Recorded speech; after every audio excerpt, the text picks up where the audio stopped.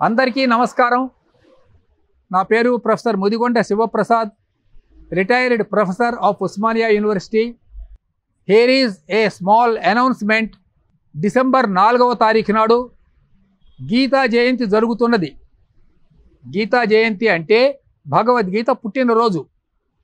సామాన్యంగా మనం మహానాయకుల పుట్టినరోజు పండగ మాత్రమే జరుపుకుంటూ ఉంటాం. లేదా మహాకవులు కాళిదాస జయంతి వ్యాస జయంతి వాల్మీకి జయంతి నన్నయ్య జయంతి తిక్కన జయంతి ఇలా కౌల జయంతులు జరుపుకుంటాం. ఒక పుస్తకానికి పుట్టినరోజు జరగడం అనేది సామాన్యంగా ఉండదు. కానీ ఒక భగవద్గీతకు మాత్రం మార్గశిర శుద్ధ ఏకాదశి నాడు మనం గీతా జయంతి అని జరుపుకుంటూ ఉంటాం. అంటే ఆనాడు భగవద్గీత పుట్టింది. పద్దెనిమిది అధ్యాయాలు కలిగినటువంటి భగవద్గీత పుట్టింది అని దీని యొక్క అర్థం. ఇంతకు ఈ గీతా జయంతి యొక్క ప్రాశస్త్యం ఏమిటో కొంచెం నేను వివరిస్తాను. ముందుగా ఒక విషయం చెప్పాలి. భగవద్గీత సంస్కృతంలో ఉంది. ఇది పద్దెనిమిది అధ్యాయాలు కలిగినటువంటి ఒకనొక గ్రంథం. ఇది మీ అందరికీ చాలా సుపరిచితమే. ప్రపంచంలో ఉన్నటువంటి చాలా చాలా భాషల్లోకి ఇది అనువదింపబడ్డది కూడా. ఈ భగవద్గీతలో ఉన్నటువంటి పద్దెనిమిది అధ్యాయాల్లో కలిపి మొత్తం ఏడు వందల ఒక్క శ్లోకాలు ఉన్నాయి మొత్తం. టోటల్ శ్లోకాస్. ఇది ఇది అనుష్టుప్ అనే పేరు కలిగినటువంటి ఒక సంస్కృత ఛందస్సులో ఉన్నది. ఇందులో అర్జునుడు ప్రశ్నించటం దానికి శ్రీకృష్ణుడు జవాబుగా చెప్పటం.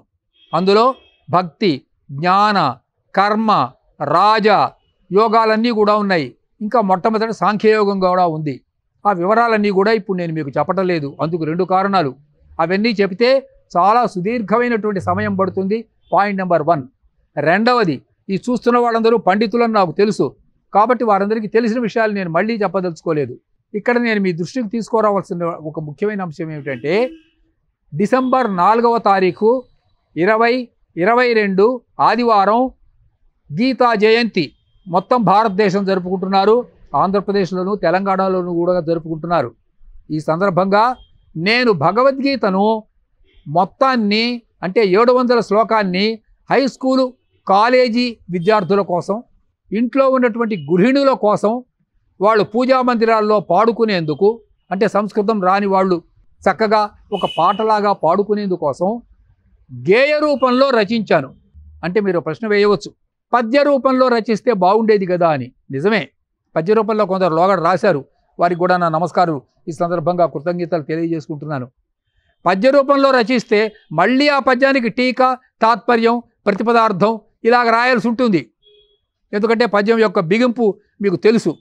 అవి వృత్తాలు కానివ్వండి లేకపోతే మాత్రా ఛందస్సు కానివ్వండి దేశీయ ఛందస్సులు కానివ్వండి. అందుకని నేనేం చేశానంటే సరళాతి సరళంగా విషయం చాలా గహనమైనటువంటిది క్లిష్టమైన విషయం. మరి హై స్కూల్ విద్యార్థులకు కాలేజీ విద్యార్థులకు అందాలి అంటే సంస్కృతం రాని వాళ్ళకి ఏం చేయాలి అని బాగా ఆలోచించి ఆలోచించి అతి తెలుగు పదాలతో ఆ పుస్తకాన్ని రచించి దానిని ఈనాడు ముచ్చింతల్లో అపర రామానుజుల వరే ప్రకాశిస్తూ ఉన్నటువంటి శ్రీ త్రిదండి రామానుజ చినజీయర్ శ్రీమన్నారాయణ స్వాముల వారికి ఆ పుస్తకాన్ని నేను అంకితం చేశాను. ఇది ఒక important event in our Telugu literature కాబట్టి మీ దృష్టికి తీసుకొని వస్తూ ఉన్నాను. ఈ పుస్తకం పేరు గీతా గానం అని పెట్టాను. గానం అంటే ఘంటసాల పాడినట్లు నేను పాటలు పాడతాను దాని అర్థం కాదు. This is a celestial song celestial song అంటే ఇది ఒక భగవంతుని యొక్క గీత పాట. ఈ పాటను నేను ఇప్పుడు టీవీ ద్వారా పాడి వినిపించవచ్చు. కానీ అందుకు ఇప్పుడు సమయం లేదు. వీలైతే మరొకసారి చూద్దాం. ఇప్పుడు ఒక చిన్న అందులో ఉన్నటువంటి ఒకటి రెండు శ్లోకాలు నేను ఎలా అనువదించానో మీకు అర్థమయ్యేట అయ్యేందుకోసం మీకు వినిపిస్తాను వినండి. మొట్టమొదటి శ్లోకం.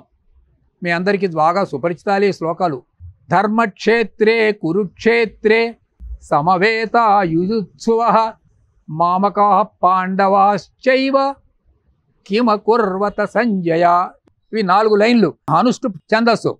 దీనికి నేను తెలుగులో చేసినటువంటి అనువాదం వినిపిస్తాను. సరళంగా ఉందో లేదో మీరే గమనించండి. ధర్మక్షేత్రము కురుక్షేత్రమున ధర్మక్షేత్రము కురుక్షేత్రమున యుద్ధోత్సాహముతోడ వ్యూహముగా అంటే యుద్ధోత్సాహంతో వ్యూహం పనుకున్నారు వాళ్ళు. పద్మవ్యూహం గరుడ వ్యూహం నాగవ్యూహం ఇలా వ్యూహాలు పన్నారు యుద్ధోత్సాహముతోడ వ్యూహముగా మామక. ఈ మాటలు ఎవరంటున్నారు? మామక అంటే ధృతరాష్ట్రం అంటున్నాడు. మామక పాండవ అంటే మా వాళ్ళు అవతల వాళ్ళు. మామక పాండవ సేనలు నిలువగా ఏమి జరిగేనో దివ్య చక్షువుల చూచి చెప్పుమని సంజయ మంత్రిని ప్రశ్నించను ధృతరాష్ట్ర భూపతి. అంటే సంజయుడికి దివ్య చక్షువులు ఉన్నాయి అంటే టెలివిజన్ అన్నమాట. ఆ టెలివిజన్లో ఆయన చూచాడు ఆ రోజుల్లో ఐదు వేల ఏళ్ళనాడు చూచి అక్కడేం జరుగుతుందో ఇక్కడ చెబుతున్నాడు. ఇది ఇందులో ఉన్న చమత్కారం. విన్నారు కదా? మొత్తం మళ్ళీ ఒకసారి చదువుతాను. ధర్మక్షేత్రే కురుక్షేత్రే సమవేతాయుత్సవ మామక ప- మామక అనే శబ్దంలో అంటే నా వాళ్ళు ఒక అహంకారం ఉంది. నా వాళ్ళు పరాయి వాళ్ళు ఈ భావన ఉంది ధృతరాష్ట్రుల్లో చూడండి. కౌరవుల్ని నా వాళ్ళు అనుకుంటున్నారు. వాళ్ళనేమో పాండవ మామక పాండవాశ్చైవ కిమ కుర్వత సంజయ. దీన్ని సరళంగా అనువదించాను. ఇప్పుడు మీకు ఇంకొక చిన్న అనువాదం వినిపిస్తాను సౌకర్యం కోసం. సాంఖ్యయోగం అనగా రెండవ అధ్యాయం చాలా గొప్ప అధ్యాయం అండి ఇది. సాంఖ్యయోగం కనుక మీరు చదువుకున్నారంటే మీకు కపిలుడు రచించినటువంటి సాంఖ్యయోగం మళ్ళీ ఇంకా చదవలసిన అవసరం ఉండదు. కపిలుడు సాంఖ్యయోగాన్ని రచించాడు.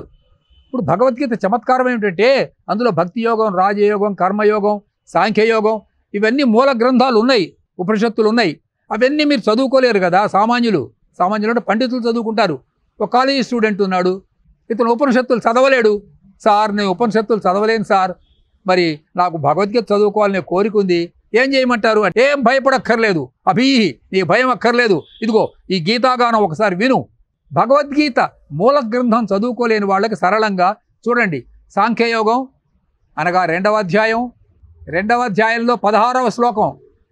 ఆ పదహారవ శ్లోకం ఒరిజినల్ మీకు వినిపిస్తాను వినండి.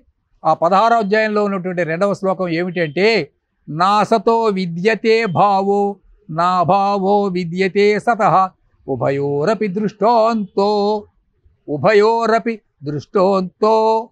చూడండి ఎంత సరళంగా ఉందో సంస్కృతం కూడా సరళంగానే ఉంది. అది కూడా ఏం కష్టం కాలేదు త్వనయో తత్వదర్శిభి. ఇది మూల శ్లోకం అండి. ఈ మూల శ్లోకానికి నే చేసిన అనువాదం చూడండి ఎంత సరళ ఇంకా తెలుగులో మరీ సరళం చేశా. అందుకే అరటిపండు ఇట్లా ఒలిచి కదలీపాకము అంటే అరటిపండు అరటిపండు ఒలిచి ఇలా చేతిలో పెడితే ఇలా నోటేసుకొని తింటమే. అట్లా. ఉన్నదదేదో పోదెక్కడికిని లేనిదదేదో రాదు కొత్తగా. ఇది ఐదు వేల ఏళ్ళ నాటి ప్రబోధం అండి. ఉన్నదదేదో పోదెక్కడికిని లేనిదదేదో రాదు కొత్తగా. ఇవాళ మనకు ఐన్స్టీన్ చెప్పినా అదే చెప్పాడు. Is equal to MC square matter can be converted into energy and energy into matter they um, పొడవు వెడల్పు ఎత్తు కాలం. Time is the fourth dimension of the world అన్నాడు. స్టీఫెన్ హ్యాకింగ్స్ చెప్పినా అవే చెప్పాడు.